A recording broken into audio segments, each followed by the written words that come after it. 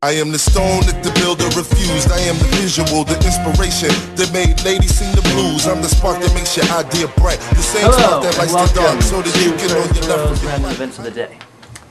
Today, I'm going to be talking about Reese's Puffs, ramen, and anime.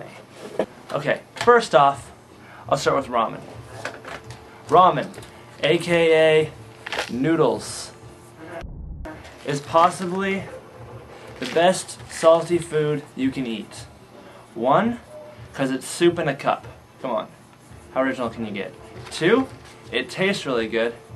And three, every time it's shown in a video or TV show, it's depicted as being the best thing ever. It pretty much is. No lie there. Okay. Reese's Puffs.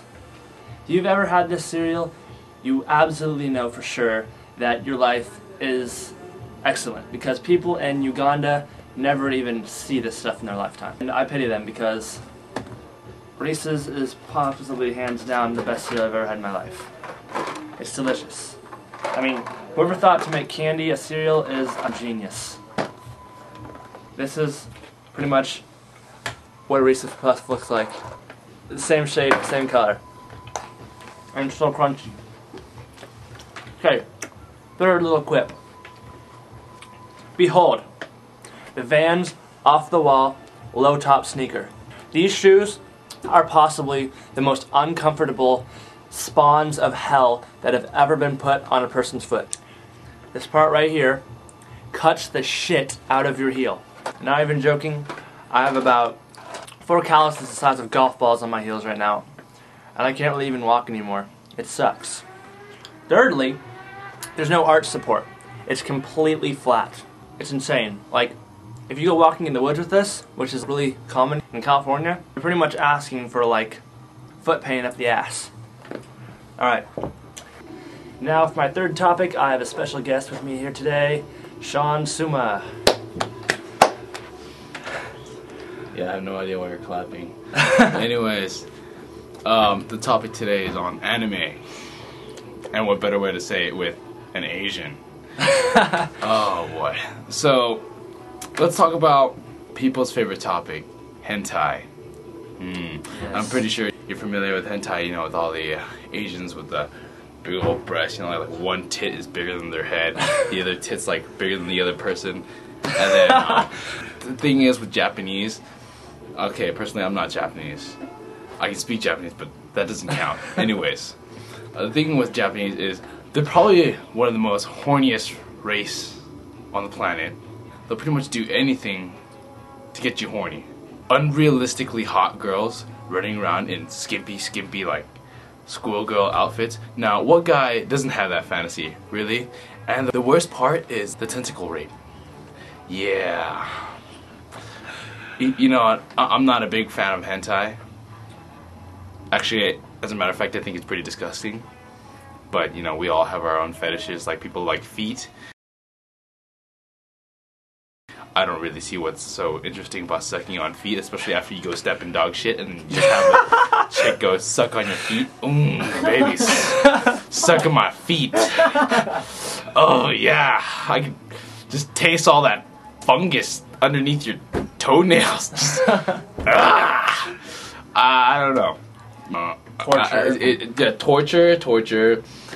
Too much blood then is Yeah, possible. Yeah, that, that that's just that's just I don't know. Um, sperm and blood that, that doesn't it doesn't mix. Lesbian schoolgirls, I, I I love that. I love that. One out of every three girls are lesbians and will, hands down, go shirtless, pantyless, and within five seconds be fucking each other. According to hentai. According to hentai, yes, Which would be cool, but it's not true. in real life, but that's not true. But um, anyways, back to back on topic with tentacle sex. Tentacle sex is